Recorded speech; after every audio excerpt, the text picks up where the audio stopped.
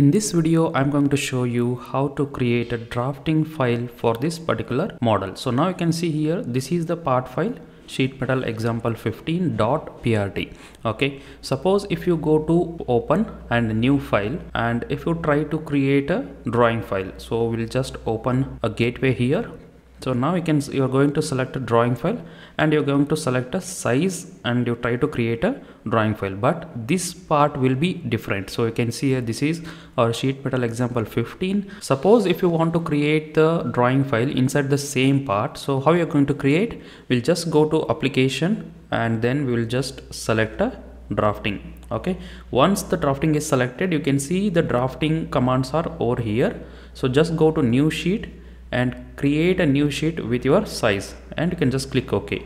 So now you can see our drafting application is activated within the same part. So if you save this part, both model and as well as uh, the drafting file will be saved. Okay. So now suppose if you want to go to model and edit the model. So go to application and uh, sheet metal. So now you can see this model and you can edit it here.